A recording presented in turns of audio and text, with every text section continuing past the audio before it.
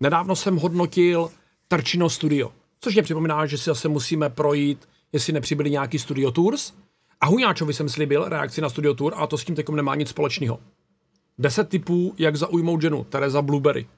Na to jsem hrozně zvědavý. Chci, Možná trošku- chci totiž vědět, uh, co mám dělat se svojí manželkou líp, abych prostě byl ten rytíř na bílém koni. Jdeme na to. Takže já jsem si sepsala 10 typů, jak já osobně si myslím, že je fajn zaujmout ženu a co si myslím, že může fungovat a je to můj subjektivní pocit. Třeba budou lidi, kteří to mají trošičku jinak, ale to Jsem zvědav. Něco, co Pojď na to! Dobře, prvním to. bodem je mít něco svýho. A myslím tím, jakože mít nějaký svůj zájem, nebo nějakou vášeň, nebo něco, čím se zabýváte, Jaký fetiš. Dobře. Jasně, mít svůj koníček, ano, netrávit 24 hodin eh, denně spolu, ale mít každý svůj zájem. Souhlasím. nebo něco, ať už koníček, nebo práce, nebo něco takového, ale mít něco svýho, do čeho ten chlap vkládá energii, do čeho prostě čím žije, kde se rozvíjí a co A není to gaming, jo, chlapi, bacha, není to gaming, tam se stopéro gaming nepočítá. Já jsem slyšel, že gaming je absolutně prostě anti, anti, uh, antivztahovej. Mu dělá radost. A já si myslím, že chlap, možná můžete potvrdit třeba i naopak, jestli to mají muži taky, tak se ženama, že chlap je nejvíc přitažlivý v moment, kdy se věnuje něčemu, co jeho baví. Jo, jo, jo, to můžu potvrdit, ano. Hlavně, když tady třeba dělám něco ze dřeva, nejde mi to, začnu u toho šíleně klít, rozčilovat se a začnou kolem mě lítat třísky. Ano, to jsem absolutně nejvíc přitažlivý. Tady, když mě vyběhne ta CFK a vypadám tak, že buď mě za chvilku, buď to raní mrtvice, trefí šlak, nebo proběhnu zdí, nebo prostě jenom budu tahat nohu.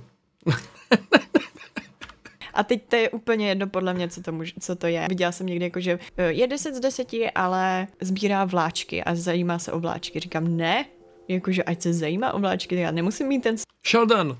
Sheldon je 10 z 10 tím samý pádem. zájem, ale líbí se mi, když má prostě on tu lásku a tu vášeň k tomu. To se mi líbí úplně nejvíc. Třeba Milenka. No, tohle ne. Bere se i čtení knížek. No jasně, proč ne? Já si teda představuju něco jako kontinuálního. Kontinuálního, čemu se věnuješ třeba často, furt a takhle. To je, je to super. V moment, kdy se ten člověk věnuje tomu svýmu zájmu, tak mi přijde nej, nejvzrušující. Nejvíc vzrušující. Nejvíc sexy mi přijde v tu prostě jako píkovat, tak jako koukat, jak se mazlíš s tím dřevem. Hlavně práce se dřevem strašně baví. Kojo to taky nebude asi to pravý. To taky nebude ono jako rukodílo, tam asi taky nebude patřit podle terky, si myslím. Mm-mm. Ani sbírání dámských kalhotek, jo, a, a podobné věci. Já si myslím, jako, že prostě jako koníček, kde ukážeš manuální zrušnost, trpělivost a to, čím naprostá většina lidí, včetně mě občas, uh, absolutně jako neoplývá. Jo, ale jsou rána, kdy prostě zakopnu vorovnou zem a jsou dny, kdy se jenom podívám a z toho dřeva se něco vytvoří skoro samo. Chvíli, kdy se věnuje něčemu, co on miluje. Jde o to, abyste nepřišli z práce doma dalších 6 hodin nečučili do televize, tak. Takže, druhý tip, když se ten člověk Počkej, mě spíš napadá otázka, proč na tisíc rad, jak zaujmout ženu, je jen jediné, jak být eh, zajímavou a chtěnou ženou. To vůbec není pravda, klidně takový video můžeme udělat. Jako klidně já tady po terce můžu hodit pár bodů, eh, který se mně líbí u žen a jakou ženu já preferuji, ale obávám se, nebo můžeme to dát rovnou soustažně k těm bodům té terky. OK. Líbí se mi, když má žena svý koníčky, líbí se mi, když je samostatná a když vyvíjí úsilí, který je vlastně relativně zbytečný, ale jí to dělá radost. Jo? Což jako de facto je každý koníček. Třeba učení se jazyků, pro spoustu lidí může být úplně zbytečný úsilí, ale přitom tě to obohatí, rozšíří ti to obzory a jak bylo řečeno panem, myslím, Komenským, kolik jazyků umíš, tolikrát si člověkem. Nebo sbírání něčeho. Moje manželka sbírá hrací skříněčky. Na každé dovolené obíháme tržiště a hledáme ding, ding, ding, ding, ding, hrací skřínky. Když chci udělat jako mega radost, tak ne kvitko, ale jdu a někde na internetu seženu eh, hrací skřínku. Naposledy se mě podařilo sehnat krásnou dřevěnou hrací skřínku s motivem eh, Můj soused Totoro a hrál to tu muziku. Din, di, din, din, di, din. Úplně mazec. Z mého světa miluju animéčko, miluju manga a z jejího světa hrací skřínky. Absolutně dokonalý spojení. Člověk snaží posouvat neustále. Zlepšovat se. Tam patří třeba i to učení jazyku. A jde mu i o nějaký seberozvoj. Nemyslí si, že všechno ví nejlíp, nemyslí si, že už je jako ustálený a takhle, ale furt a neustále se snaží posouvat a neustále se snaží vzdělávat a pracovat se sebou. Nepovažuje sebe sama za jako hotovýho kompletního člověka, ale snaží se furt pracovat třeba nějakým způsobem se sebou, že to není tak jako teď zabedním a takový jsem a tak jiný nebudu. Zájem o sebe, zájem na sobě pracovat, mít jo, nějaký ambice jo, a tak. Jo. Hele, to musím nechat, že mě přijde velmi přitažlivý u žen. Ambiciózní, nezaseklá na místě, e, pokračuje v tom seberozvoji. A teď nemyslím seberozvoj, jako tak, jak vidíte u některých youtuberů, jako je Chábr a nebo Anička Bodošová a podobně. Ale myslím jako opravdický seberozvoj, získávání informací, vyhledávání informací, učení se. Proč? Prostě jenom tak pro zábavu. Já třeba osobně jsem neskutečně zvědavý chlap. Neskutečně. Obrovsky. Já jsem zvědavý tak za pět ženských, jo? Když vezmeme v potaz nějaký kliše. A podobně na tom Sonja. Ona když to neví, nezná, jde si to zjistit, naučit se to. U mě je to úplně stejný. Já, když přijdu do situace, kterou neznám, neumím, já ji potřebuji očíhnout, okoukat, seznámit se s tím, naučit se to. Prostě mě to absolutně nedá, ve mně to potom hryže, že spousta lidí to zvládá a já to nezvládám. Chci to vědět, chci to umět, chci nahlídnout pod, pod pokličku. Strašně mě to baví. Nakonec jako ono, eh, moje práce je být designer, grafik, jo, kreativec. Takže mm, zároveň s tím, to je i předpoklad pro tuhle tu práci. Miluju to na ženských. Miluju, na, miluju zvědavý uh, studijní typy. Úplně wow. Líbí se mi, když, když ten člověk má nějaký drive. Líbí se mi, když se snaží jít dál. A mě samotnou motivují lidi takový a chci mít ve svém okolí třeba takový lidi. Jo, progres a nekonzervovat se. Jo, přesně. přesně. Tak. Třetí tip. Mně se líbí proaktivní přístup. Hej, normálně, OK, já se s Terkou zhoduju. Já se s Terkou zhoduju. E, osobně třeba, jako teď, teď budu mluvit o sobě, já jsem chlap, který je, a Sonja se toho kolikrát děsí, protože je zvyklá, že když řeknu, hele, uděláme něco, tak ona už počítá s tím, že to udělá, že to budeme jako udělat hned. Já nerad odkládám věci. A na Soně se mně taky líbí, že to vlastně má takhle, jo. Takže kolikrát vznikají velmi kuriozní situace, když třeba řekneš, jel bych na dovolenou a jdeme rovnou hledat, kam pojedeme. Jo, ale ať už doma něco opravit, nebo vyrobit, nebo udělat skřínku, nebo něco, tak jo, tady ten koutek tak ten man's cave, který já jsem si vytunil a vykutil za XY let postupně, se u mě dělá úplně stejně. Mě něco napadne, já jdu objednávat, jdu to řešit, zkoumat a zkoušet a mě to prostě strašně, ale strašně moc baví. Přijde mi to neuvěřitelně zábavný. Schopnost vést a schopnost rozhodovat. Je to možná trošku pokrytecký z mýho pohledu, protože já nejsem moc uh, proaktivní a nejsem moc rozhodná. O to víc to oceňuji u té druhé třeba polovičky nebo na tý, u té druhé strany. Já jsem třeba strašně rád, že se Soňou to máme půl na půl. Jo, že jsme proaktivní, že jednou vede ona nějakou akci, po druhý vedu já nějakou akci a prostě takhle eh, v tom stavu určitě není nuda, odsejpá nám to a funguje nám to. Je to absolutně fenomenální jako můžu, můžu doporučit, pokud to je pro vás, ať už pro chlapy nebo pro ženský, ten partner takovejhle, že eh, nebojujete o, o to prvenství.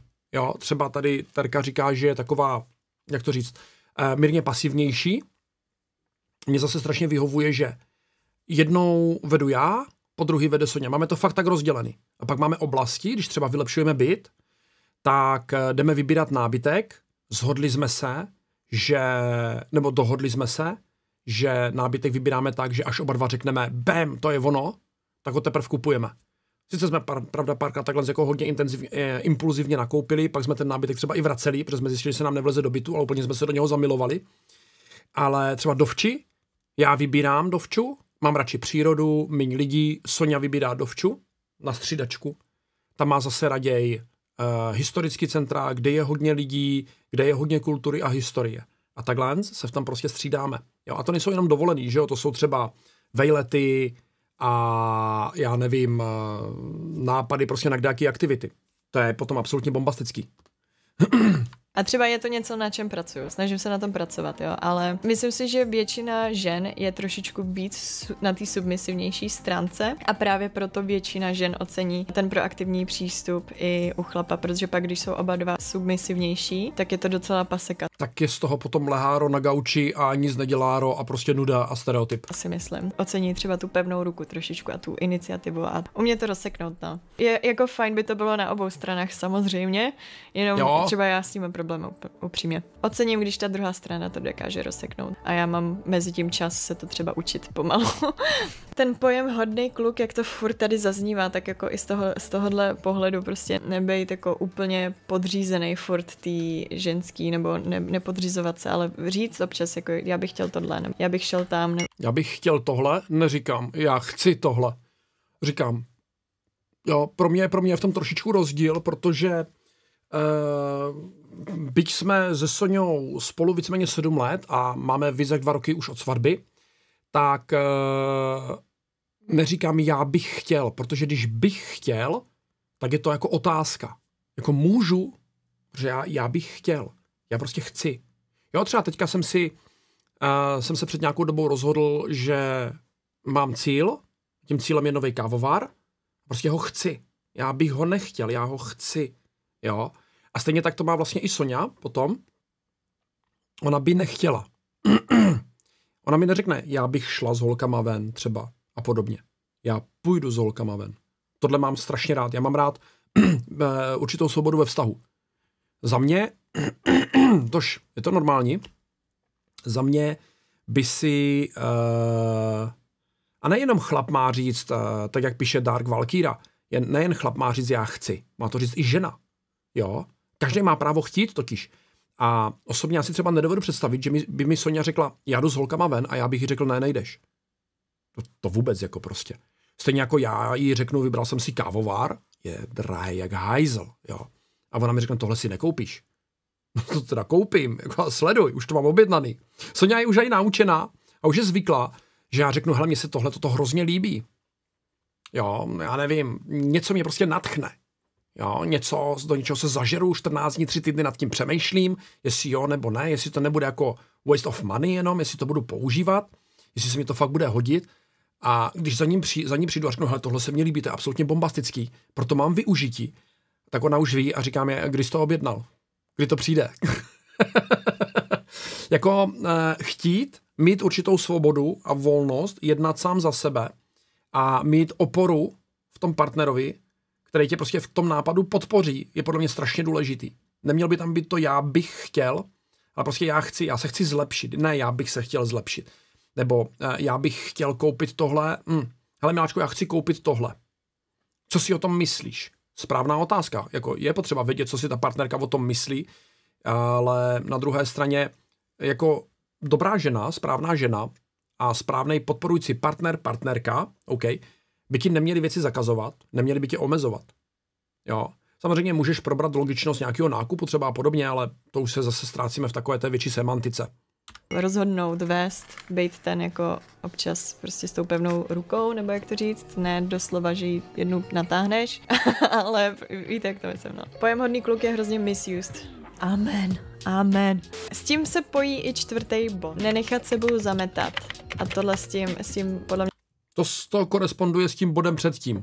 Ne, já bych chtěl, ne, eh, jo, ne, můžu, mohl bych a tak dále, ale prostě chci, udělám, půjdu. Ale ono to celkově koresponduje i s těma bodama předtím, jestli si rozumíme. Jo, jsem člověk rozhodnej, udělám to tak a tak a není potřeba mi to co půl roku připomínat. Ne, teď to byl vtip. Um, myslím si osobně, že eh, jakýkoliv omezování v tom vztahu je hrozně špatně a vede to k rychlému konci vztahu. Jo? Najdeš si pěknou holku, která určitě bude pro spoustu dalších chlapů atraktivní, neomezuj ji. Neboj se v tom, že ti bude nevěrná, neřeš, že ti bude nevěrná. Nežij v paranoje. Žij v tom, že máš doma úžasného partnera, který ho podporuješ a který podporuje tebe.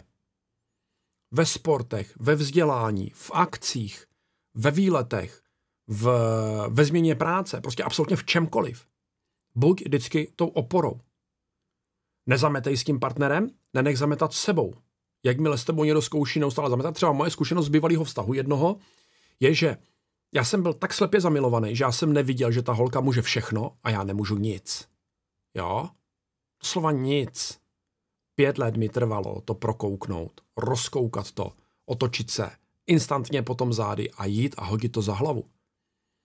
Pět let jsem byl takhle slepej. Ano, zastávám názor, nenech sebou zametat. Měli jsme takový story ze začátku vztahu, kdy eh, samozřejmě já jsem pohnojil pár věcí s manželkou a manželka pohnojila pár věcí. Asi největší, největší úlet byl ta ukázka toho nenech sebou zametat, jo, že jsme se nějak jako neporozuměli jsme si ve zprávách. Vždycky si volejte, mluvte spolu, nepište si úplně jako nějak moc, jo, ono, pokud to nejsou ty líbez, eh, líbez mm, emoty, tak občas se může stát, že to někdo špatně pochopí. No a já jsem, eh, první manželka pochopila, budoucí manželka tehda, pochopila špatně moji zprávu, to bylo hned ze začátku vztahu.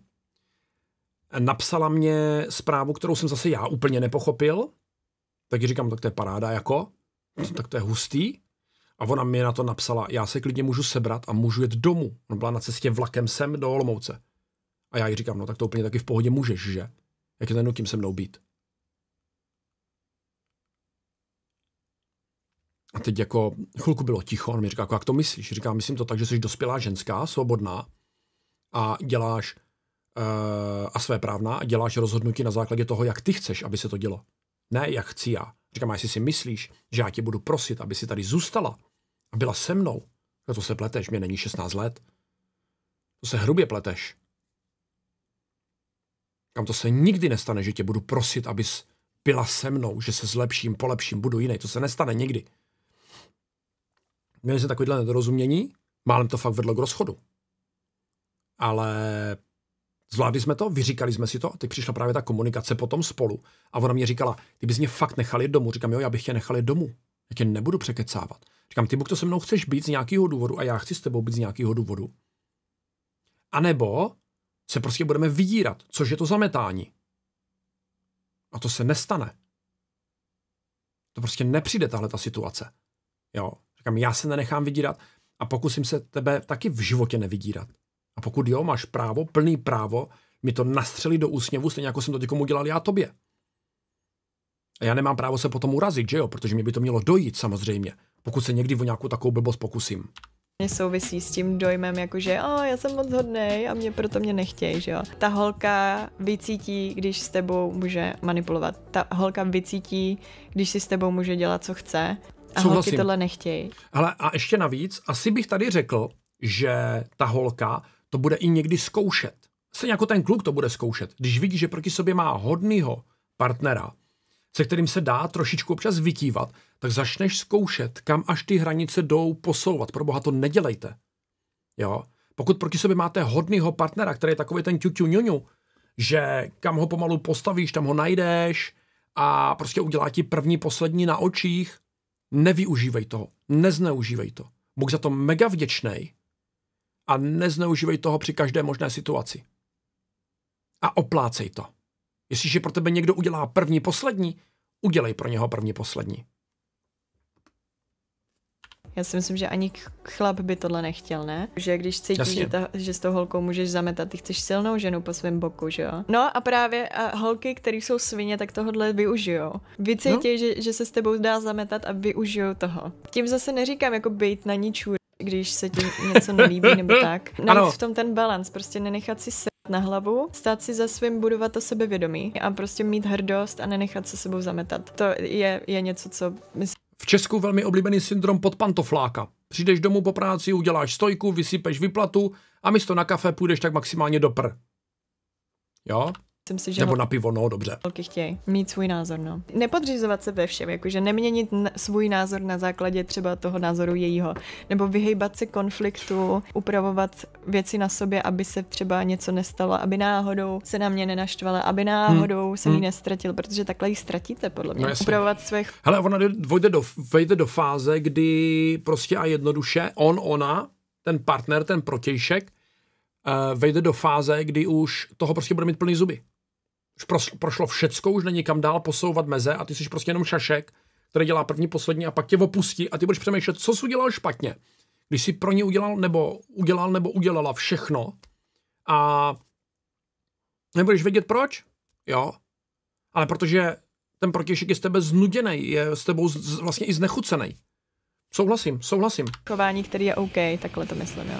Chce to, chce to prostě balans. Nebejt takový poskok, no. Bejt jí hmm. rovnej, ale respektovat jí. Já při vybírání partnerek ve vztahu vždy vyrazil teorii, že pokud se vedle té holky musíš jakkoliv omezovat ve smyslu kontrolovat své chování, nemůže být sám sebou, tak okamžitě pryč. Pár ano. jsou dva. Jedna plus jedna. Není to 0,7 plus 1,3, ani jedna a půl plus půl. Prostě. Já to říkám tak, že vždycky chci vedle sebe partnerku, se kterou půjdeme bok po boku. Já ji nepotáhnu za ruku za sebou a ona nepotáhne mě za ruku za sebou. Prostě půjdeme vedle sebe, budeme se držet za ruku a potom mezi, před náma může být křoví, propasti, plameny pekelný, cokoliv, prostě s tím projdeme bok po boku.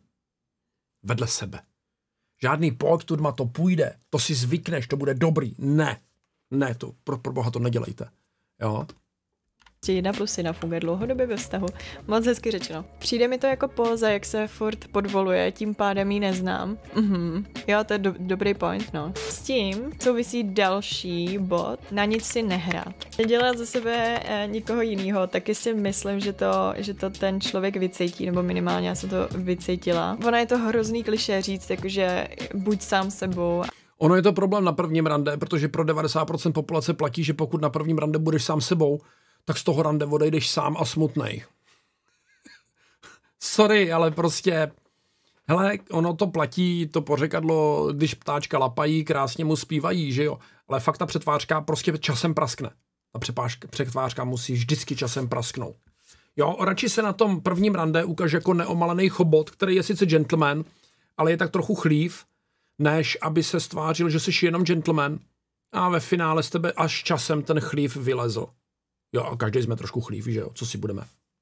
Někdo víc, někdo opat. Co? a buď takový, jaký seš, neměň se kvůli nikomu. Samozřejmě tam jsou, jako, jsou věci, které na sobě můžeš. No, souhlasím, jak píše chat, no. Je lepší být prostě takový, jaký seš od začátku, protože ten partner, ten protějšek, partner, partnerka aspoň počítají s tím, že takový seš. Nebo to pro ně šok, že to najednou přijde měnit a který můžeš měnit. Můžeš být lepší verzí sama sebe, hrát si na něco, mít nějakou masku nebo dělat ze sebe něco, co nejsiš, tak je hrozně kontraproduktivní. Vždycky to ve finále vyjde na povrch a ten člověk to vycejtí. A mě to hrozně odradí od někoho, když se, když se třeba mě snaží oslovit nebo se mnou komunikuje a teď mm-hmm. tam máš tu masku a není to třeba přirozený ta komunikace, nebo je to takový, je to, je to, je to divný ta komunikace. Cítíš to? Cítíš to z toho člověka, když ze sebe dělá něco, co není. Každý má občas masku to neříkám. Určitě jo, to, jako tomu nerozporuju. Já třeba mám problém s uh, citovou maskou v rámci sebe. Jo. Já jsem uh, stará škola ohledně výchovy. Babička mě vždycky říkala, že mě vychovali prarodiče. Babička mě vždycky říkala, že chlap k ženě má být jako rytíř. Ten největší gentleman. Pomáhat jí, ulehčovat jí, být prostě gentlas. A já tím pádem, když mě třeba něco trápí, tak mám zafixovaný, že tím neotravuju tu svoji ženu. Neotravuju tím to svý okolí. Řeším si to sám v sobě.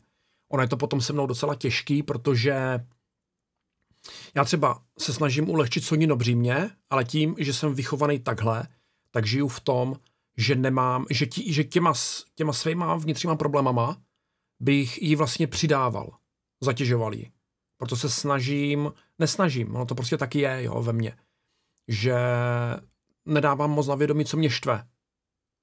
Jo, jako třeba ve vztahu řeknu, zlato, tohle prosím tě nedělej, tady, tady prosím tě nebuď, eh, jo, Sonja to měla úplně stejně. Měli přijít Velikonoce a já jsem jí řekl, hej, však počkej, já ti na Velikonoce nandám, ty, ty uvidíš. A ona mě říká, Ježíši se to neříkej, já jsem, já na, na to mám úplně PTSDčko, já jsem zažila něco, co bych zažít sám nechtěl. Tohle prosím tě už nikdy neříkej, říkám, promiň, omlouvám se. Ale Velikonoce se mnou jsou takový trošičku jako fany, jo, já mám takovou, takhle asi velkou vařečku, už XY let, strašně moc let. Když jsem byl malý, tak fakt byla jako velká, působila velká. Dneska v té mojí ruce prostě působí tak trošku jako propiska. A lupla přesně půlnoc, já to mám takhle jako, já velikonoce moc nemusím, ale Sonja mě naučila mi drát svátky. A teď já jsem prostě přesně na půlnoc vletěl do kuchyně, čapl tu a dostávám už na ní i pentle od Soni, jo, na tu, na tu uh, vařečku, že to prostě special vařečka, se kterou se nevaří. A čapl jsem tu pidi vařečku a začal jsem ho honit po bytě a hody, hody do provody! Jo, a vždycky jsem tak jako jenom pu, pu, pohladil po zadku tou vařečkou a pak jsem mu zhodil na postel, začali jsme se líbat a, a, a zbytek je prostě do červené knihovny. A pak jsem mi řekl, říkám, vidíš, tak tohle tě čekalo, jak moc ti naložím na ty velikonoce. Ono se začala hrozně smát a myslím, že v tu chvilku asi pochopila, že jsem trochu jiný než ostatní. Jo, že mám rád nadsázku, mám rád joky, nejsem násilnický typ a když něco řeknu, tak eh,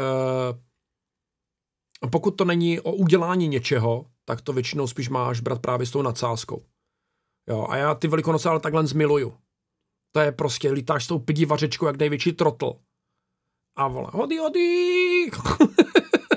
Neuděláš nic, jo, prostě takový, když čivava kouš, štěká, ale nekouše, jo, prostě takový to, víš, jak, jako koparachotu kolem a nic. Ale, uh, co jsem chtěl říct? Teď jsem se v tom úplně ztratil. Ale když jde o to seznamování a tam jako pušuješ něco fakt diametrálně odlišného, tak mm. Takže klub moc hodných kluků je v žití, nemají být moc hodní a zároveň okay. se nemají přetvařovat, že nejsou. Já neříkám, že nemají být moc hodný, ne, ne, ne, ne, to není jako, že přetvářka. To... Hele, kluk ať je hodnej, holka ať je hodná a ten prokešík jak toho nezneužívá. Pro boha není krásnější věc, není krásnější věc, než když se zbudíš s úsměvem na rtech, řekneš dobré ráno a dáš pusu a uděláš snídaní do postele. Nebo dostaneš snídaní do postele, to je úplně jedno. Není krásnější věc, než když řekneš, já bych šel dneska do kina, ta partnerka ti řekne, to je skvělý nápad. A není krásnější věc pro ženskou, než když ženská řekne, hele, já nemám co na sebe, já bych si potřeboval něco koupit a ty jako chlap řekneš, OK, jdeme a já ti to koupím, jdeme do obchodu. Jo, prostě chápeš. Vycházejte si vstříc, dělejte si vzájemně radost nezneužívejte toho, že ten protějšek váš je hodný. Buďte taky hodní. Kolikrát na sebe lidi takhle narazí? Dva hodní lidi. Velmi často se právě stává to, že jeden je hodný a ten druhý toho zneužívá. Vždycky se říká, že ve vztahu jeden miluje víc, ale ono by to mělo být zase jednak jedné, jo? Není přetvářka, já říkám, budujte svoje sebevědomí, budujte svoje sebevědomí, to je něco, co můžeš na sobě zlepšit a Tady, tady v chatu teď proběhla láška, alfa samec může být hodný. Eh, Dark Valkyra to napsal. Alfa samec je hodný. Sigma je ten sebestředný hajzl, který, eh, který mu je jedno, co ten protějšek, co ostatní. Alfa, jako alfu, tak jak by si ji měl vnímat, když jako hm, tady tyhle ty pojmy alfa, beta jsou už dávno smazaný, jo, a víceméně popřený, tak ale alfa jako takovou, jako by si ji chtěl vnímat, je tvor, který se stará o ty svý nejbližší záleží mu na nich. Ne, že na ně bodá, dělá si věci po svým. Jo? Změnit svoji verzi k lepšímu, svoji vlastní verze. Budujte svoje sebevědomí, abyste si stáli za svým názorem, abyste, se, abyste měli hrdost. To není měnit se a přetvařovat se, to je pracovat k lepší verzi sebe sama. Ano, stoj si za svým názorem, do té doby, dokud ti někdo neprokáže, že tvůj názor je blbost a nesmysl. Pak buď ochotný svůj názor změnit, ale neměň ho jenom proto, že to někomu vyhovuje. I mně se strašně líbí, jak jsem tam někdo v tom hledá něco, co tam vůbec není. Jo, já... jo tak to Dark Valkyrie se omlouvám, je to žena, ne chlap. OK, OK, promiň. Já se snažím jenom pomoct, vole. Ty jsi zase zvo- zmínila ty hodné kluky, to si právě neměla dělat. Já to zmiňuji na schvál, aby se v tom někdo našel, protože každý skurný stream sem někdo přijde, že je moc hodný a pro toho holky nechtějí. Můj šestý tip. Mít schopnost dát ego stranou. Dát ego stranou. Umět říct promiň. Třeba jenom blbý promiň. Umět říct jenom to blbý promiň. Je neskutečně, neskutečně těžký, ale zároveň s tím bych řekl, zároveň s tím bych řekl, že je to osvobozující. Prostě udělal jsem chybu, omlouvám se a emoce je něco, co mě zaujme na člověku. Nebo co, co si myslím, že imponuje více ženám. Mít tu schopnost prostě to ego dát stranou a ukázat se, ukázat to nitro trošičku, no. Nikdy jsem tank. V moment, kdy se seznamuješ s někým a chceš výst romantický vztah, tak tam si nemyslím, že ego má co dělat, jako upřímně, nebo já to nedávám. Mezi dvouma ego má co dělat? Já si myslím, že jo. já na to mám zase v funny historku z našeho vztahu, kdy eh, jsme se bavili eh, se Soňou o tom, co ona dělá za práci, jaký já do toho mám svůj náhled, protože ona mě řekla, že je eh, nutriční specialistka, což jako já do té doby znal nutriční specialisty, tak maximálně Herbalife. Tady máš patáčky, zobej. Tady máš míchací drink, chlastej. Tady máš něco na večer, co ti pomůže spalovat, zobej. Jenomže ona mě uvedla do toho, že vlastně plánuje opravdu lidem, jak jíst. Jo, a třeba ve spolupráci s Brněnskou fakultní nemocnicí řešila jídelníčky pro diabetiky, měla tak extrémní klienty, že třeba měla kováře, který měl 7000 kalorií denně výpal a, a další podobný. Jo, fakt jako crazy věci, kde musíš řešit, co ten člověk bude jíst, co jí, co má změnit, jestli se má začít víc pohybovat, nebo jo, komplexně přibrat, zhubnout a teda a teda. A ona mě nahodila, jak, jak to funguje. Já jsem jí řekl, jak to funguje u mě, protože mám poměrně jako hodně rychlej metabolismus a celý život cvičím. A ona mě tehdy řekla, a jako nepatří do vztahu, ale ona mě tehdy řekla, je moc hezký, že máš svoji teorii. Já jsem málem prasknul, že jo? A víceméně rok jsem čekal na pomstu. Polévka gazpacho. Pomsta se servíruje za studena. Tentokrát si z toho dělám srandu, protože to byla skvělá pomsta. Já jsem v tu dobu, kdy mě řekla, je moc hezký, že máš svoji teorii, protože pro mě jako pro chlapa to zní, jo, tak uh, už drž hubu. Rozumíme si. A rok to trvalo, kdy já jsem si dával na večeři nějaký ovoce s tvarohem po nějakým těžším cvičení. Teď jsem chytil, to jsou ty tvarohové vaničky, určitě všichni znáte, polotučný, plnotučný, nízkotučný tvaroh. Teď to chytneš a ono se to zatrhne. Ten rožek se prostě zatrhne. Neslíkneš ten celý, celý ten vršek, ale on se vždycky někde natrhne. Jo? No a teď já chytil ten rožek a zatrh se mi. A Sonja mě říká, kdybys to otevíral z druhé strany, tam, kde je jako konec, tak se ti to nezatrhne. Ono se zatrhne i tak, jako jo, ale to je, to je jedno. A já s tou vaničkou toho tvarou. A pozor, babský moudra. jo, schytala jsem, schytal jsem přesně takový pohled, jaký schytala Sonja tehdy, když mi řekla, že je moc hezký, že mám svůj názor. A mimochodem, uh, říct někomu, je moc hezký, že máš svůj názor, je opravdu instantní trigger, který jsem si vyzkoušel ve spoustě komentářů pod mýma YouTubeovými videama. Je moc hezký, že máš svůj názor. Pár teček. Hotovo. Ano, ego nepatří do vztahu, ale svým způsobem tam zabruslí a pak by z toho měla být funny situace. My jsme to opravdu využili jako, když jsme se, my, my když jsme se brali, tak uh, jsme místo jenom klasického prvního tance měli tanec s, se stand-upem. Co čekáš u mě jinýho, že jo? A bonzovali jsme na sebe, ale ne tak, že já bych bonzoval na Soniu, co udělala špatně, a Sonja by bonzovala na mě, co udělala špatně. My jsme bonzovali sami na sebe. To znamená, že já jsem říkal, co jsem udělal špatně a Sonja říkala, co udělala špatně. Prostě bonzovala na sebe. Jo? Což prostě jako v rámci stand-upu bylo absolutně fenomenální a my jsme, se, my jsme tohle právě použili jako jeden z nejlepších joků, který se nám ve vztahu povedl a který byl jako hodně marný. ale je hezký, že máš svoji teorii, je fakt jako zlý, to je instantní trigger. Ne, fakt to nedávám. Když nevycítím z toho člověka, že tam je nějaký nitro, nějak, nebo že mi neukáže ani ho z toho nitra a má furt to ego, teď jsem si přesně vybavila člověka, na kterýho to sedí, tak já o toho člověka nezavadím ani pohledem. Přesně takového člověka jsem znala, on mě, o mě měl zájem. Nikdy mi neukázal ani ťuk z toho, jako že by byl nějaký trošku citlivý, nebo že by, ne, všechno to bylo jenom ego, jenom ego a hra a to uměle vytvořený ego a já vím, že ten člověk někde to nitro má. Jo, ještě až takhle, jako, jo, že těžký se vůbec dokoukat nějakého nitra, aby ten člověk ukázal vůbec nějaký city. Jo, a prostě si na něco hraje, to je, to je úplně špatně, to je totální blbost, nehraj si na nic. Buď takovej, jaký seš, to je vůbec ta nejlepší hra totiž ve finále. Protože ty sám o sobě seš vždycky nějakým způsobem kouzelná bytost, která dokáže překvapit i sama sebe. Jo. Takže hrát nějaký divadílko, nepustit si někoho k tělu. U mě je těžký se přes eh, ty slupky, já jsem jak cibule, jo, oloupeš pár slupek, pak se rozbrečíš a, a tak dále, jo. Tak u mě je těžký se přes těch pár slupek dostat, ale osobně v tu chvilku to se mnou někdo vydrží, protože se mnou je to fakt těžký, jo. Uh, sociofobní jsem a podobně, uh, tak uh, když se přes tohle všechno dostaneš, tak zjistíš, že se mnou se dá vycházet strašně dobře.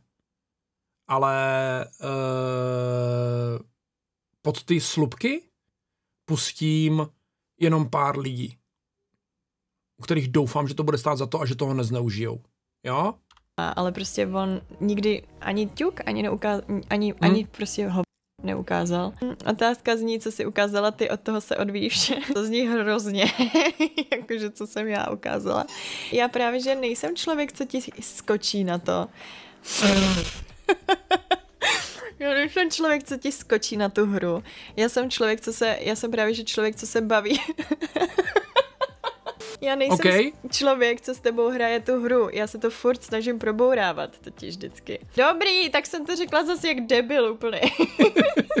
Chápu? Já jsem právě, že ten člověk, co... To vůbec nebylo dvojsmyslné a skažené, ne? Co nehraje s tebou tu hru. Já jsem ten člověk, co se furt snaží to probourávat a furt se snaží najít ty kličky, jak se k tomu člověku dostat. A ten člověk, když furt mi odpovídá s tím, tím egem, ne jeho, jako, ne tím jeho nitrem, tak jako je to těžký, no. Proč neukázat nitro někomu, kdo se ti líbí a s kým chceš něco mít? To nedává smysl samo o sobě. Přesně. Přes... Uh, no, pozor. Jako, tak to řeknu já z pozice jako 46-letého chlapa. Nemůžeš to nitro, to svý hebký nitro, Terezo, ukázat každému. to prostě nejde, jo. To, to fakt nejde. Za spousta lidí toho prostě jenom zneužije. Pokud jsi fakt jako hodný člověk, střícný, přátelský, člověk, který je ochotný pomoct, spousta lidí toho zneužije, co se mi v životě hodněkrát stalo.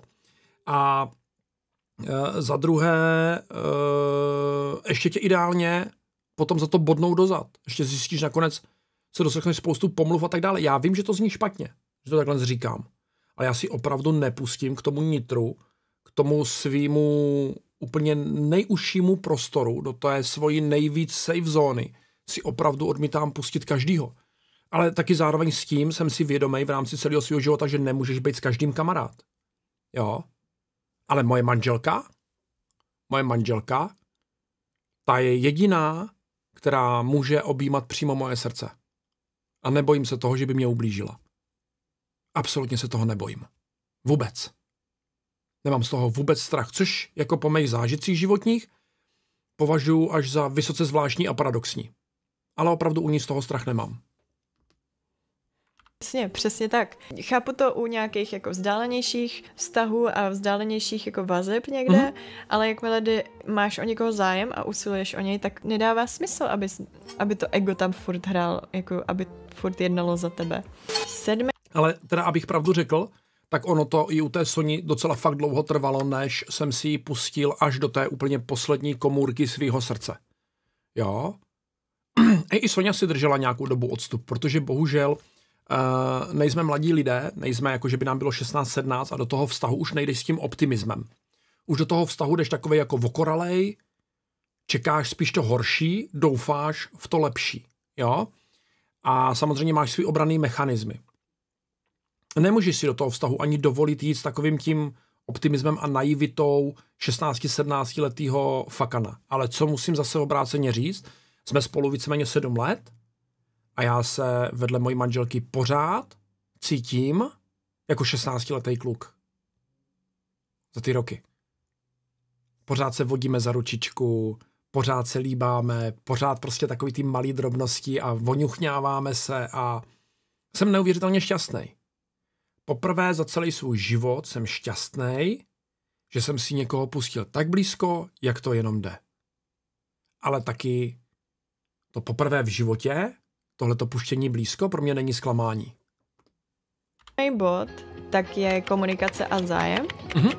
Poslouchat opravdu a reagovat na to, co říkám. Ne každý to dělá a mám pocit, že to je jedna z těch věcí, co si myslíš, že je takový, taková samozřejmě asi jo, tak jako to každý ví. Ne, nemyslím si, že to je normální a ne každý tě vyslechne a ne každý tě fakt jako poslouchá. Ne. Jedním uchem tam, druhým ven. Mhm, mhm, mhm. A nazdar to je taky si myslím špatně, jo? Pokud, pokud projevíš zájem o to, když se zeptáš, jak se dneska měla, slash, jak se dneska měl, tak si to poslechni a reaguj na to. Neber to jako zdvořilostní otázku. To je prostě to absolutně nejhorší, co můžeš udělat. Pokud eh, se se někdo přijde svěřit, naslouchej mu a tvař se jako nebo tvar se, buď empatický člověk, buď ten člověk, který eh, jde teda, když už se ti někdo chce svěřit, a je to ta blízká osoba, tak uh, buď člověk, který jde šérovat to břemeno. Jo? Nepouštěj to uchem tam, uchem ven a ve finále z toho jako nic nemáš, no. To je, to je k ničemu. Každý chlap poslouchá tu žensku, co říká, možná to je i naopak, nevím, můžete se vyjádřit klidně. Je to docela rare, takže komunikovat se zájmem, mít zájem třeba sám od sebe a mm-hmm. poslouchat opravdu a reagovat na to, co říká. Mě, já jsem vždycky měla problém, já jsem mu říkala, ale ty mě nev, nevnímáš, ty mě neposloucháš. A on mi slovo od slova zopakoval, co jsem říkala, ale třeba nepochopil nějaký nuance nebo tak, ne, nevědě, nechápe význam, tak, tak, tak, tak. Spojení okolo přesně. Jakože je vidět, že je myšlenka má jinde. A jo, slyší tě a vnímá, co říkáš, ale neposlouchá je rozdíl mezi slyšet a poslouchat. Tak, tak. Já nevím, jak vy si pamatujete věci, já si třeba pamatuju pocit, pocity víc než jako konkrétní slova. Když mi pak ten člověk třeba připomene tuhle věc, tak se na to nacejtím znova, protože ho vnímám, protože vnímám, co mi říkal a jako nějakým způsobem to s ním prožívám taky, že jo. Což takhle jsem jako nevždy zažila z druhé strany. Osmý tip můj je nebát se jí dotknout. A tohle to osvětlím. tohle to osvětlím, abyste nešahali na cizí holky a ne, nezbuzovali tak u nich. Jakože nebát se takového kontaktu. Takže jako antiopat. Ale přiměřeně prostě na švába na prvním rande nešaháme a tak dále. Hodnýho pro situaci a to, jak dlouho se znáte. Žádný šína se neká hned víc. Ne, ne, žád, ne, žádný takový. Nebát se jí. Je to prostě člověk, stejně tak jako ty. Všichni jsme lidi, že jo? A nebát se jí dotknout, nebát se, když se s ní jdeš rozloučit, nebát se jí, jako jí, jí dát obětí, nebát se prostě rozhodit ruce, dát jí to obětí, nebo, nebo já nevím, když se jí něco děje, nebo se svěří, nebát se jí fakt jakože pohladit po rameni a tohle to neříkám. Tak já jsem hodně kontaktní člověk, takže s tímhle tím problém nemám a souhlasím s tím. Já jsem hodně kontaktní člověk. Já si nedovedu představit, že když budeme s manželkou třeba v bytě vedle sebe a že kolem mě projde, že na ně nešáhnu. Že prostě jenom kolem mě projde. Nedokážu si představit, že já kolem mě jenom projdu, třeba to víte, když si chodíme dávat kafe v kuchyni, a nedokážu si představit tu situaci, že tam přijdu a nepůjdu jí dát pusu. Že prostě půjdeme hned kecat k té kávě, dělat kafe, a nedokážu si představit, že jí potom dám tu kávu, řeknu jí, vypi, vypi si to, chutnalo ti to a nedáme si třeba pusu nebo se nepohladíme. Nedokážu si představit. Já jsem tak obrovský kontaktní člověk, že já bych bez toho zašel jak kytka bez vody. Nedokázal bych bez toho fungovat. Ne, ne, ne, nedokázal. Takhle ne každý člověk je kontaktní, jo. Tohle to mi nepřijde jenom jako v účelu za... Teda já jsem jako, jako nejsem kontaktní s každým, já třeba absolutně nesnáším, když někdo cizí uh, za mnou přijde a chce se hned jako na seznámení obejmout. Úplně to nemám rád. To prostě, aha, to nedám. Ale u toho velmi blízkého člověka, který ho miluju, tak tam to vyžaduju v, v opaku. Jo, tak jak to nesnáším u cizích lidí, tak prostě v tom, v tom stavu to potřebuju. Jak zatím získat nějakou holku nebo tak, já, mně to přijde jako hezký a prohloubí to nějak ten vztah. I v přátelství mm-hmm. je to fakt zvláštní, když cítíš, že ten člověk se tě fakt bojí dotknout. A já chápu nějakou jako počáteční ostýchavost, taky jsem ostýchavý člověk docela, ale je fajn to. Takže když někdy budeme náhodou s Terezou kamarádi, tak mi manželka urazí hlavu, protože obejmu Terezu a jsem hotovej. To je skvělý jsem rád, že to vím. Len to se naučit a být trošičku víc bezprostřední s těma dotykama vhodnýma. Opět říkám vhodnýma, nebo to odhadneš, kdy, to pou, kdy je použít, kdy je udělat a takhle. Nebát se jí. Asi vím, co si mohu podle signálu dovolit. Jo, vnímat, vnímat, vnímat to takhle taky. Mně se třeba hrozně vrilo a tohle není nic romantického. Já jsem jela, že na tu, tu, na tu uh, dovču, teď z Betty a ona mi řekla něco prostě hrozně hezkého, že ta jedno prostě. A chytla mě u toho za ruku a já doteď prostě mě se to tak strašně zapsalo zapsalo do srdce tohle. Hmm, je, jako to tak strašně prohloubil. Jo, tohle, tohle jako jo, tady, tady tyhle ty jako decentní dotyky beru u třeba pro mě i jako jenom kamarádu nebo jenom kamarádu, chápeme se, takových těch blízkých známých a tak dále. Bylo to jako emoční napojení na ní, že i mě se chce brečet ty vole z toho. No prostě dělá to hodně.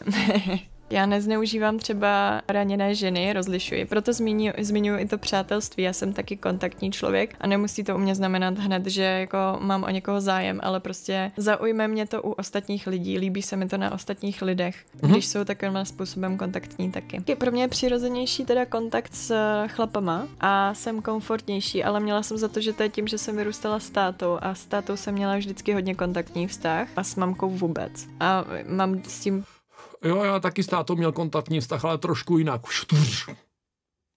Nebyl jsem moc happy za tohleto dětství. Proto jsem rád, že mě vychovávali prarodiče. Trošku problém doteď. Je fakt, že dotyk dělá hodně i u nekontaktních lidí. Já právě moc kontaktní nikdy nebyl, prostě WTF, proč na mě makáš, give me space, please. Ne každý je, no. Proto říkám, že to je subjektivní. Já to člověka musím poznat. Fakt ho musím poznat, jako pro seznámení je pro mě normální podání ruky a podobně, ale víc jako prostě ne. Mm, jako MySpace, My Private Space a nazdar, ale jakmile to člověka poznám, tak eh, čím díl to člověka znám a čím eh, k sobě máme trošičku blíž, tím menší problém mám právě s tím kontaktem. Pět. To je zase o komunikaci. Jako vyjasnit si tohle a pak se můžete eh, jako nastavit hranice jinde, tak, aby to bylo prostě všem příjemný. Devátý bod. Tady je takový dobrý dotaz k té empatičnosti. Ty umíš být empatický nebo ne? Já mám kámoše, co má Aspergera a ty si říkal, že já jsem tím chycený taky, ano, že on tu schopnost má úplně vypnutou. Já ji úplně vypnutou nemám, ale je pravda, že občas mám eh, problém odlišit, co je vhodný a co není vhodný v rámci třeba diskuse ve společnosti. Jo, a tam funguje so nějakou moje sociální kotva, tomu říkám, protože já vždycky, když mluvím ve společnosti a snažím, nesnažím se být, ale jsem prostě fany, tak si ji kontroluju, jestli náhodou nezabíhám už e, jako moc někam mimo komfortní zónu na prosté většiny lidí. Jo, jestli to opravdu jako není špatný a nejsem spíš cringy a nejsem spíš marnej, než abych byl třeba jako zábavný a, a humorný. Takže já vždycky se, když, když vidím jako, že se baví a sněje se, vím, že je to cajk. Jakmile má takhle pozdvižený obočí, tak vím, že jsem plácel nějakou kravinu. Nevím jakou, to nepoznám, a když už jako vidím tohle, tak vím, jako, že je to hodně zlý a že bych měl, o, tak to už utnu, no a, a, a tak prostě. Jinak sorry. Vždycky jo, když sedíme vedle sebe, tak to poznám podle toho, jak mě Sonja drtí stehno. Že je tako moc, tak hej, pokud jsem něco řekl blbě, tak se omlouvám, jo. Fakt sorry, nemyslel jsem to špatně. Já v těchto těch situacích občas jako fakt jako hodně, hodně, hodně plavu. Ale každý jsme nějaký, no. je být gentleman je něco, co třeba na mě zapůsobí. Vžít, vzít ženě, ženě kabát, otevřít dveře, my nevejdeme do bytu. Při sámbou my nevejdeme do bytu, že já bych nepřišel, nepodo, nepoodemykal zámky, neotevřel dveře, vytáhl si klíček a řekl Soně, prosím, vchodový dveře, výtah, zavolám výtah, prosím, madam, váš výtah byl přistaven. Opravdu tohle to dělám, nekecám. Ona se tomu vždycky směje, ale prostě já bych nevešel do výtahu dřív než ona, z výtahu nevešel, nevyšel dřív než ona, do restauračky jdu první, nenechá mi tam mít první, víš proč? Gentleman, kdyby byla bitka, přiletěla židle, koupíš to ty, ne žena. Ze schodu jdu před ní, do schodu jdu za ní. Tam v rámci, v rámci tohohle přístupu je to bonton. Mělo by to tak být, jo, pánové. Muž otevírá ženě dveře, když ji třeba bere domů nebo tak a pouští do těch dveří. Ale do restauračky vcházíš ty první. A odcházíš poslední zase. Kdyby letěla židle, tak ti přistane dozad, když odcházíte. Ale když jdeš za tou ženou do těch schodů, při sám Bohu, má to svý velký plusy. Milu, když manželka nosí sukně. Chápeš to? Moc rád potom chodím do schodu. Jo? Osobně, ale právě nebejt gentleman jenom ke mně, ale a, a pak na všechny Obecně. ostatní srát. Mně se líbí prostě, když si to... Jako, asi to neudělám tak, že jdeme do baráku a já vidím, jak se tam mrcasí sousedka uhni. Prosím, miláčku. tak takhle bych to fakt jako nedělal, jo, to nepůsobí úplně dobře a nebude to působit dobře vůbec na nikoho. Uh... jo, takže fakt jako zkuste se podívat, co je bonton, a zkuste se tím naučit řídit. Samozřejmě ne vždy je to úplně vyžadovaný a ne každá žena to vyžaduje, ale třeba tady u Terezy velký respekt, že to má ráda. Podržet ženě kabát, když se svlíká, stejně tak, když se oblíká, A já jsem dal jednou záměrně Soně kabát na ruby a furt tam lovila ten rukáv, byla to hrozná hlína, ale to, to, to, se jako normálně nedělá, jo, to nedělejte prostě. Ne. Když se tomu začnete smát, tak to fakt není dobrý. Uh, asi, asi jako si nedovedu představit, že bych tu Soňu uh, zazdil v těch dveřích, že bych řekl uhni. Jo, a třeba neseme jako nákup, ne, já nesu nákup a vodemču, tak Soně mě řekne, běž první, hoď to do kuchyně, co se ani nezouváš, prostě když to hodí do kuchyně. Zase cením i tohle, jo, že ona ti uleví v tom, že tam nečekáš s těma taškama, až ona projde a zuje se, ale prostě tě pustí prvního, abys to šel položit do kuchyně a pak se teprve jdeš zout, jo. Ta vzájemná kooperace v rámci nějakého jako, řekněme, uh, přátelského a lidského přístupu osvojí. Uh, jasně, že ze začátku si třeba na to budeš zvykat, pokud si k tomu nebyl vedený od mala, ale když si to osvojíš natolik automaticky, že to děláš ale pro všechny, nejenom pro ty objekty svého zájmu. A... No, tak pozor zase, ale jako víš, viděl jsem spoustu žádlivých videí na Facebooku, a na YouTube a samozřejmě na Instagramu, kde eh, borci, borec, chlap se svojí ženou vychází a podrží dveře ještě jiné ženě a ona mu řekne děkuji, a ona mu to potom ta partnerka ještě týden omlacuje o hlavu. Děkuji. Samozřejmě jako vtipný videa, že jo, nebudeme to brát nějak vážně. A jenom pro tu holku. Ale jsou takový žádlivky že chlap podrží cizí, cizí ženské dveře, ona mu poděkuje a tam mu z toho udělá scénu. Jsou i takové žádlivky. Která se ti líbí, tak jenom k tý přiběhneš a otevřeš jí třeba dveře nebo jako to. Že si to osvojíš natolik, že to je přirozenost, dělat to pro kohokoliv a ne, že jenom to zapneš, když se ti někdo líbí. To, jak se chová k ostatním lidem, k ostatním ženám, jak se říká vždycky, že poznáš na, na základě toho, jak se chová k čí, číšnici třeba nebo takhle. Hrozně bych nechtěla být s někým, kdo se chová takhle jenom ke mně. No, tak jak se chováš třeba k číšnici. Eh, teď jsme byli v Itálii, ve Florencii a tam byla strašně pěkná číšnice, velmi milá a prostě úžasná. A začala jako kdyby flirtovat se Soňou a já jsem se s tou číšnicí potom začal taky bavit, tak nějak jako jsme prostě začali všichni bavit a Sonja potom naškla mě, že s ní flirtuju, já jsem mi řekl, že ona flirtuje s ní a pak jsme si vyměnili na sebe Instagramy a poslali jsme si pár fotek a nikdy jsme se už neviděli. To bylo celý. Zištné gentlemanství, prostě... ano, ano, nezištné gentlemanství. Gentlemanství už ze své podstaty by nemělo být zištný, takže uh, mně se strašně líbí, když chlap tohle to má osvojený ke všem, nejenom ke mně. I když tam jsem já, tak je gentleman k někomu jinému. Ospravedlní absenci gentlemanství, pokud máš špatný den, ale jsme všichni jenom lidi. Já dokážu jako pochopit, že třeba když máš jako plnou hlavu něčeho jiného, ale zase o to hezčí je, když i v tom schonu myšlenek, tak jako bezmyšlenkovitě otevřeš třeba ty dveře, víš? Jo. O to je to jo. jako mnohem... Já třeba když vím, že se nezvládnu chovat jak gentleman, tak třeba dveře a tak beru automaticky, to mám prostě zažitý, to je pro mě automatický.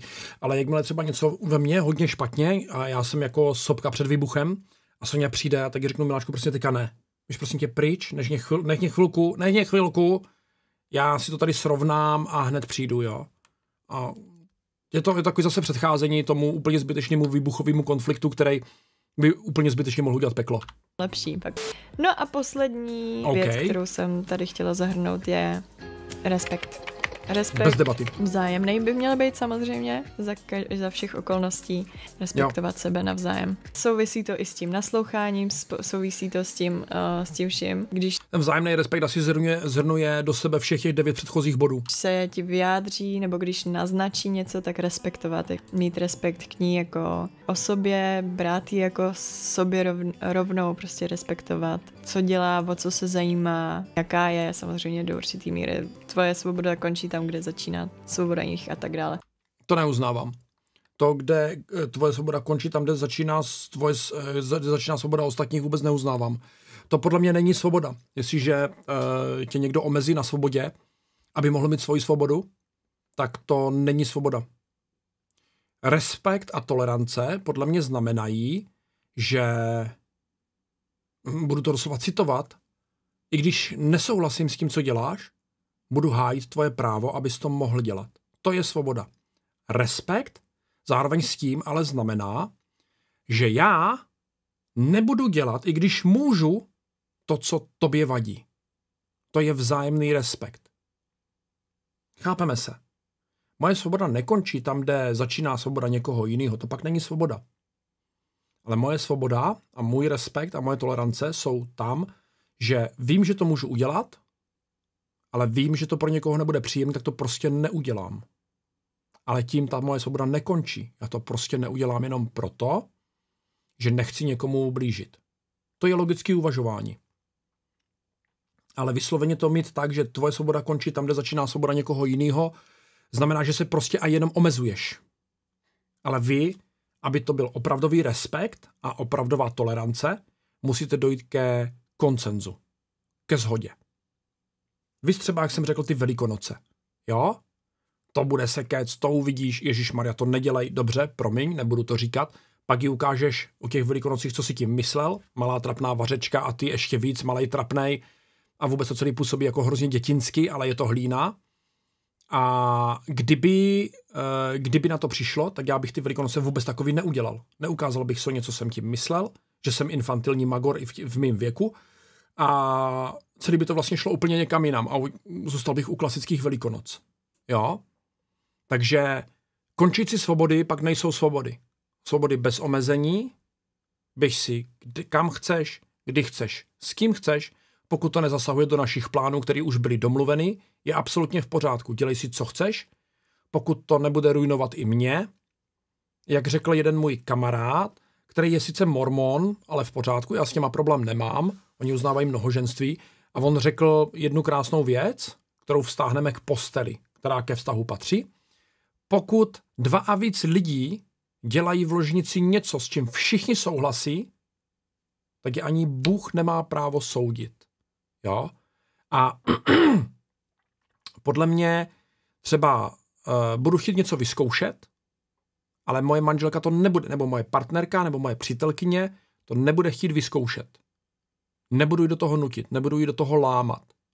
Ona ví, že to je v place, nemusím to co chvilka připomínat, nemusím si to vynucovat a někdy na to třeba přijde, že to spolu vyzkoušíme. Ale nikdy si to nebudu vynucovat. Jo? Ale víceméně ano. Tam, že ona to nechce dělat, končí moje právo na toto chtít, ale je možný, že někdy k tomu dojde. Bez nátlaku, bez násilí, bez vnucování. Cokoliv budeš dělat ze cokoliv, vynechám postel, absolutně cokoliv, budeš dělat s tím, že to člověku vnutíš, tak to bude nesnášet. Vždycky to musíš dělat ze své vlastní svobodné vůle. Když nevydělává tolik, co ty, respekt. Respekt všude a ke všem. Respekt... Jako v rámci peněz někomu jít otřískat, hele, já vydělávám víc, takže já určuju pravidla, je fakt blbost. Jo? Ano, můžu říct, hele, já z mých peněz opravuju tohle a udělám to po svým, Stejně tak, jako bys neměl, když manželka nebo partnerka nebo prostě protějšek bude něco opravovat ze svých peněz a bude něco řešit ze svých peněz, taky bys mu do toho neměl, do toho neměl, neměla kecat, jak to má udělat, tak si to prostě udělá po svým, ale může se přijít zeptat na radu bych osobně řadil, že nejprve budu mít respekt k sobě, pak k ostatním. Jestli mám už plány vytvořené na dny dopředu a finančně náročnější, nebudu respektovat přání ty, uh, ty plány zrušit. Uh, no jasně, a tam je potřeba zase respekt z té druhé strany. Jestliže máš svý plány, tak přesně respekt z druhé strany je, že ti ty plány nebude bourat. Když ne, tak najít kompromis nějaký. K tomu respektu je podle mě jednou z hlavních věcí nikdy nesnižovat cokoliv, co toho druhého zajímá, nebo je pro něj důležité, i kdyby mě to přišlo nedůležité. Jo, Ježíš Mara, to je dobrý tip. OK, tak každý. Zrovna teď jsem slaměný vdovec na víkend a manželka je na Tabata kempu, do kterého jsem, do kterého přemýšlel, jestli jít nebo ne, já jsem mi do toho ještě ukecával, protože mám zkušenosti z fight campu a vždycky to byla sice makačka, extrémní makačka, ale hrozná hlína.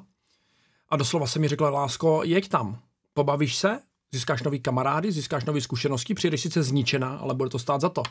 Nebudu jí od toho odrazovat. I když mě teď budeš tvát, jako že jsem celý víkend třeba sám a budu se tady jako v tom prázdném bytě víceméně nudit, no nebudu, mám hodně práce na celý víkend, jo, takže nudit se asi nebudu, ale bude mě chybět. Přesto všechno jí řeknu, jeď tam, protože to cvičení tě baví, ještě jsem mi to zaplatil, ještě jsem mi to koupil jako dárek svátku, k narozkám vlastně, pardon, k narozkám, tu, tu vstupenku na ten eh, tabata, na ten tabata camp. Tak prostě tak by to mělo být. Baví jí to, podpoří v tom. Mějte k sobě respekt, nezhazujte se. Nedělejte, nepovyšujte se. Ale to zase všechno koresponduje fakt s těma předchozíma bodama. Já k tomu mám minimálně jedno doplnění, uh, mám k Tereze. Máme svoje zájmy, to je jasný a nemůže všechny zajímat úplně všechno to samé, tak prostě hmm. se občas stane. Jasně. Ale neschazovat, co ten druhý má rád a takhle. To se mi vybavilo, že můj, že jsem měla no, taková debilní hádka, já jsem měla to, uh, že jo, exe, ale vím, že jsme se dostali do nějaký debilní úplně dohadovačky, že on najednou začal říkat jako, že jeho koníček je důležitější než moje koníčky, že hudba je důležitější než natáčení si a takhle. A říkám jako proč? Proč bys to říkal, nebo proč bys to vůbec srovnával a takhle. To je disrespekt. To je disrespekt, ano. No, třeba. To moje je důležitější než tvoje absolutně není. Pro každého je důležitý to jedno a mělo by se, měli byste si to vzájemně tolerovat. Jestliže tebe baví hudba, měj svoji hudbu. Jestliže mě baví streamovat a nahrávat a tvořit videa, nech mi to, neber mi to. Zažil jsem kdysi, hrál jsem šipky, to byl jeden z nejvíc kuriozních rozchodů v mém životě, a byl jsem ve vztahu, který jako tak fungoval, nefungoval. A došli jsme k jedné fázi, že my jsme pravidelně měli ve středu tréninky jako šipkarský tým a v sobotu zápasy. A já jsem se ve středu odpoledne kolem čtvrté, páté hodiny začal balit, že jdu na trénink. A on na mě kouká a říká mi, hej, kam jdeš? Já jsem myslel, že budeme dneska spolu. Říkám, každou středu mám trénink a víš to. No, ale říkám, prosím tě, každou středu mám trénink. Hraju ligově. Hraju to sice amatérsky, ale ligově. Ona se na mě podívala. A v tom jako víceméně funkčně nefunkčním vztahu, spíš nefunkčním, mi řekla, to je další bod, který já mám po Tereze doplnění. Jo, jsou tam dva body. Dostaneme se k tomu. Mi řekla, pokud ty jdeš dneska na ty šipky, tak jsme se my viděli naposled. Já jsem si zavazoval boty v předsíni, byl jsem předkloněný, narovnal jsem se a řekl jsem mi, víš co, to není úplně špatný nápad. Ona na mě koukala a říká, jako co? Říkám to, že jsme se dneska viděli naposled. Moje doplnění, které z jinému, které z jinému videu je, nikdy nedávejte ultimáta. Nikdy. Absolutně nikdy nedávejte ultimáta. Buď a nebo. Držte téma a ne ublížené keci. Ano, někomu typy, kdo třeba plave trochu. Neříkám, že tohle je něco, co si očkrtávám u každého člověka. Prostě se snažím jenom pomoct z pohledu ženský, přiblížit, jak to vidím já jakožto ženská. Neříkám, že to je nějaký dogma a neříkám, že každý musí být stejný a každý mu se všechno tohle líbí. Říkám to z mýho pohledu. Třeba to někomu pomůže, třeba si z toho bude chtít něco vzít, třeba ne. Děkujeme, Terko. Víceméně jsem moc rád, že jsme se shodli, takže myslím si, že s Terkou by se mohli být dobří kamarádi.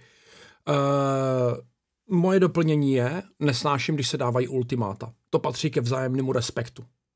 Ultimáta a respekt nejdou dohromady. Buď a nebo, tak já si záměrně vždycky vyberu to nebo. A nebo to buď vlastně, no, spíš. Buď to uděláš, nebo jsme spolu skončili. No tak jsme spolu skončili. Tečka jestli ty jdeš dneska na ty šipky, tak jsme se dnes viděli naposled. Jdu na ty šipky. Prostě já udělám všechno proto, aby to ultimátum dopadlo tak, jak ten člověk nechce, aby dopadlo. Protože nesnáším ultimáta. Nikdy si nedávejte žádný ultimáta vzájemně. Poslední, co abych ještě Tereze doplnil, je, že bych řekl, ať žena či muž, buďte otevření. Nepoužívejte jinotaje, neříkejte věci, když je evidentní, že s váma něco je, tak neříkejte, to je dobrý. Ne, nic se mnou není. Ne, všechno je fajn. Úplně to slyšíš, jak to syčí, jak z toho kape kyselina. Prostě buďte otevření. Řekni, řekni napřímo, co se děje, co tě štve. To sice bylo u Terezy taky, ale toto je taková zvláštní dominanta žen. Ne, to je dobrý, nic se mnou není. Když s tebou nic není, tak se podle toho chovej. Chápeš? Jo. Uh, koresponduje to s tím, co řekla Tereza. Je to jenom takový moje doplnění ke specialitě jako v rámci vztahu, když se něco děje. Řekni to. Nevyčítej to. Nevracej se k tomu. Nikdy se k tomu nevracej. Nevyčítej staré věci. Ale prostě jsi nabrčený kvůli tomu, že třeba přítelkyně rozbila tvůj oblíbený hrnek. Řekni to, ale úplně v klidu. Ale víš, mě štve, že se roztřískala ten hrnek. Já jsem ho měl rád. Měl jsem k němu nějaký sentimentální vztah je to v pořádku. Ona ti řekne, promiň, já jsem nechtěla, prostě to byla nehoda. Asi bys jako měl odpustit, jo, byla to fakt prostě asi nehoda. To se stává. Rozumíš? Máš něčeho blbou náladu. Funguje ten český vtip, jestliže přítelkyně vrčí, z dálky po ní hoď čokoládu a vrať se, až bude čokoláda snězená, jestli pořád vrčí, hoď po ní láhev vína, Vrať se až láhev bude skoro prázdná, ona už bude v pohodě. Ne, to nedělejte. Prostě komunikujte. Komunikace je, bych řekl, ten nejdůležitější a nejvíc spojující faktor ve vztahu. Když budete komunikovat, budete mít funkční vztah. Být k sobě upřímní a otevření. Když něco štve, řekni to. A nevyčítej to. Hele, víš, jak si před dvouma rokama udělala tohle, tohle je fakt jako zlý. To je strašná marnost. Jo. Jinak já se jako můžu pod tohleto u Terezy podepsat, já s tím souhlasím. Já si myslím, že a je to víceméně v těch ideálech, ve kterých já jsem byl vychovaný a myslím si, že toto, tedy celý, co Tereza popsala, je level, kdy máš návod na úspěšný vztah. On teď už zbývá jenom k tomu návodu na ten úspěšný vztah najít tu ženu nebo muže, který to bude taky zvládat a bude to stejně, stejným způsobem ctít. Samozřejmě jsme lidi, máme své chyby, máme své ústřelky a odpouštět je normální, odpouštět až moc normální není. Přehlížet potom, jo, a záměrně něco omlouvat. Vztah je vždycky šíleně těžká, komplikovaná věc, která vyžaduje úsilí obou, a to jak na kvalitní vztah, tak na zmrvení vztahu. Vždycky to vyžaduje úsilí dvou. Nikdy to není jenom o jednom člověku. Vy mě dejte vidět do komentářů, co si o tom myslíte, jestli souhlasíte s Terezou a se mnou, nebo jestli to vidíte úplně jinak, stejně tak na, na YouTube, tak na Twitchi. A na YouTube zároveň s tím zazvoňte na zvoneček, dejte odběr, like, sdílejte tohleto video. Přijďte za náma live na stream na Twitch. A když budete chtít, čekněte klidně i mi coffee. Za každou kávičku budu mega happy, protože jsem mega, mega moc závislý na kofeinu. Dobrý, nic. Mějte se krásně. Čau, čau, čau.